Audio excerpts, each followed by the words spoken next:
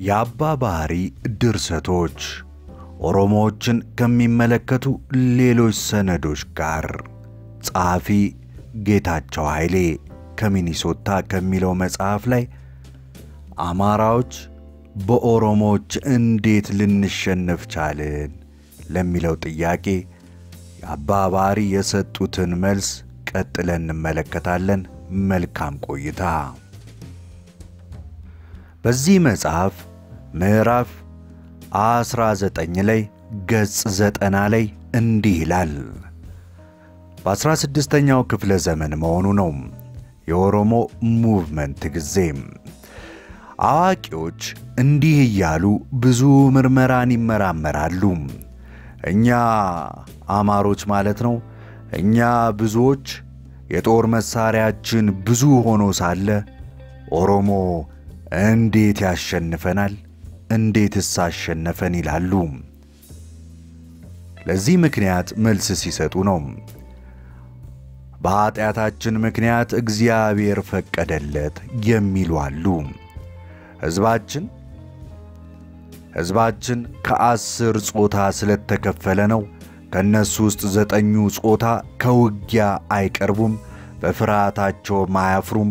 አስረኛው ጾታ ግን የተቻለውን ያህል ይዋጋል፣ ይጋደላልም የሚል አለ ይላሉ አባ ባህሪ።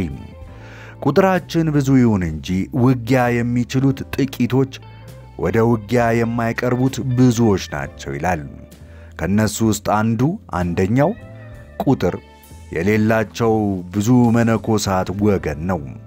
እንደዚህ ታሪክ ጸሐፊና እንደሱ ቢጤዎች በልጅነቱ በትምህርት ላይ ሳለ መነኩሴዎች ሲደልሉት የሚመነኩስ አለ፣ ውጊያ ፈርቶ የሚመነኩስም አለ።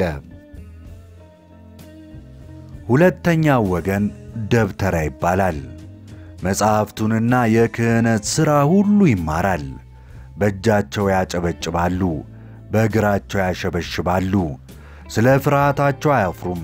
ምሳሌነትን የአሮን ልጆች ከሆኑት ከሌዋውያን ከካህናት ይወስዳሉ ይላል።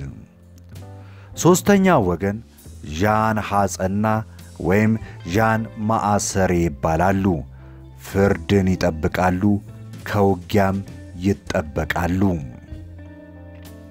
አራተኛው ወገን የመኳንንት ሚስቶችና ወይዛዝሮች ደጋፊዎች ናቸው። ኃይለኛ ወንዶች፣ ጠንካራ ጎልማሶች ሆነው ሳለ ወደ ውጊያ አይቀርቡም። የሴቶች ሎሌዎች ነን ይላሉ። አምስተኛው ወገን ሽማግሌ፣ ገዜ፣ ባለ ርስት ይባላሉ። መሬታቸውን ለገበሬ አካፍለው ያዙታል። በፍርሃታቸው አያፍሩም። ስድስተኛው ወገን ገበሬዎች ናቸው። እርሻ ላይ ይውላሉ። ስለ ውጊያ አንዳችም ሐሳብ የላቸውም። ሰባተኛው ወገን በንግድ የሚጠቀሙና ለራሳቸው የሚያተርፉ ናቸው። ስምንተኛው ወገን እንደ አንጥረኛ፣ ጸሐፊዎች፣ ልብስ ወይም ቆዳ ሰፊዎች፣ አናጢዎች ያሉና እነዚህን የሚመስሉ ጥበበኞች ናቸው። ውጊያ አያውቁም። ዘጠነኛው ጾታ ልመናን ሥራ ያደረጉ አዝማሪዎች፣ ባለ ከበሬዎች፣ ባለ በገናዎች ናቸው። የሰጣቸውን ይባርኩታል። ብጡል ምስጋናና ውዳሴ ከንቱን ይሰጡታል። ያልሰጣቸውን ሲራገሙ ዕዳ አይሆንባቸውም። ሕጋችን ነው ይላሉ።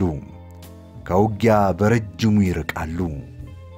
አስረኛው ጾታ ጦርና ጋሻ የሚይዙ ውጊያ የሚችሉ ለሩጫ የንጉሡን ፈለግ የሚከተሉ ናቸው። በእነዚህ ጥቂትነት ምክንያት አገራችን ጠፋች። ኦሮሞዎች ግን እነዚህ ያነሳናቸው ዘጠኝ ወገኖች የሉበትም። ሁሉም ከደቂቅ እስከ ልሂቅ ለውጊያ የሰለጠኑ ናቸው። ስለዚህም ያጠፉናል፣ ይፈጁናል። ኦሮሞ በእግዚአብሔር ትእዛዝ ይፈጀናል የሚሉ የእስራኤል ልጆችን መሸነፍ በፋርስና በባቢሎን እጅ መጥፋታቸውን ምክንያት አድርገው ያመጣሉ። ተዋጊ የሚያሸንፍ ቢሆንማ ኖሮ ክቡርና ልዑል ከሆነው ከእግዚአብሔር ዘንድ ማን እርዳታ ይለምን ነበር? ብዙዎች ጥቂቶችን ቢያሸንፉ አንዱ አንዱን ሺህ ያባራቸዋል። አንዱ አንዱን ሺህ ያባራቸዋል፣ ሁለቱ አስሩን ሺህ ያሳድዷቸዋል የሚለው የመጽሐፍ ቃል ከንቱ በሆነ ነበር ይላሉም።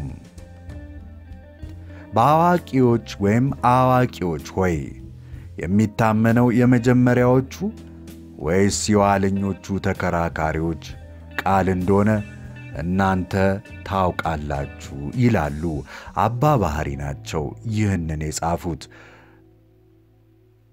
ፕሮፌሰር ጌታቸው ኃይሌ የአባ ባሕሪ ድርሰቶችና ኦሮሞዎችን ከሚመለከቱ ሌሎች ሰነዶች ጋር በሚል ያሳተሙት መጽሐፍ ውስጥ በክፍል 19 ገጽ ዘጠና ላይ ያገኘው ጽሑፍ ነው። ይሄም እናንተስ ይህ ክስተት በ16ኛው ክፍለ ዘመን የኦሮሞ መስፋፋትን ተከትሎ የጻፉት ነው። እናንተስ በፈጣሪ ቁጣ ወይስ በጦር አቅም ወይስ በምን ትላላችሁ?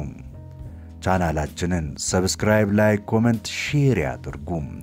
ይህንን መጽሐፍ እናንብበው ወይስ አስተያየታችሁን ስጡን። እናመሰግናለን። እንቀጥላለን።